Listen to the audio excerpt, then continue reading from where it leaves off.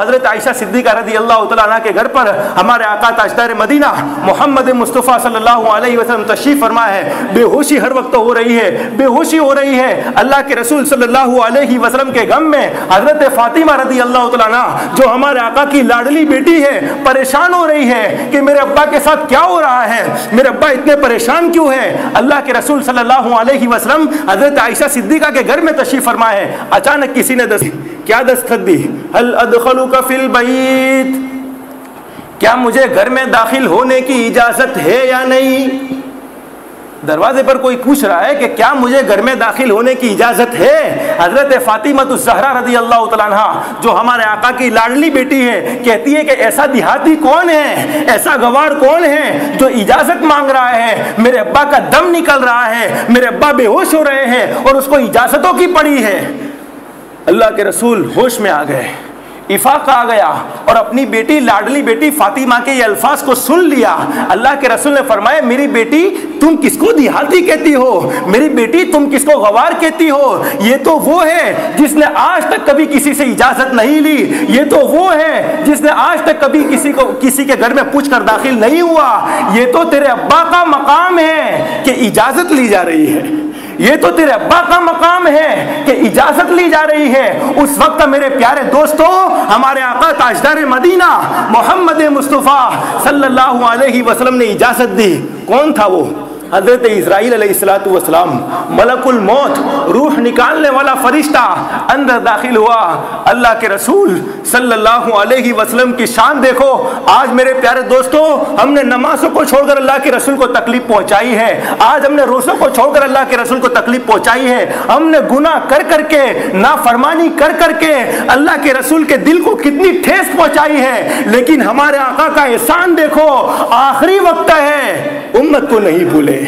آخری وقت وقت ہے۔ امت کے ساتھ کیا سلوک کیا ہے؟ امت کے ساتھ کیا محبت برا برتاؤ کیا ہے؟ اور آج یہ امتی نبی کو اپنانے کے لیے تیار نہیں ہے۔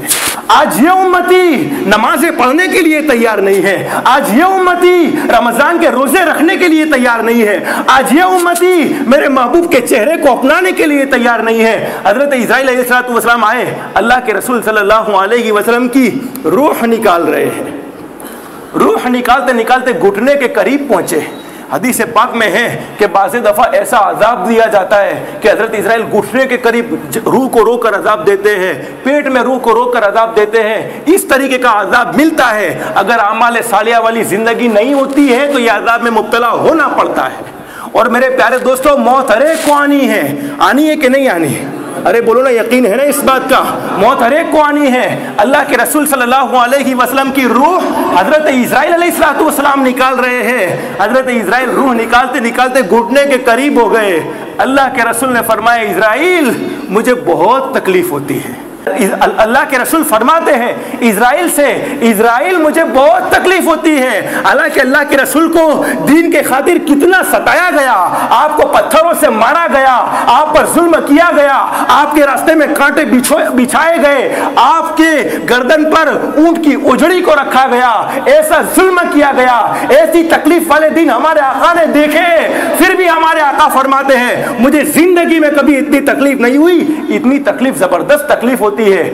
اسرائیل فرماتے ہیں، اللہ کے رسول میری کیا ہمت؟ میری کیا مجال کہ میں آپ کو تکلیف پہنچاؤں؟ میں آپ کو تکلیف پہنچاؤں۔ اس وقت ہمارے آقا نے فرمایا، اسرائیل میں جانتا ہوں، اسرائیل میں جانتا ہوں، تو مجھے تکلیف پہنچانا نہیں چاہتا۔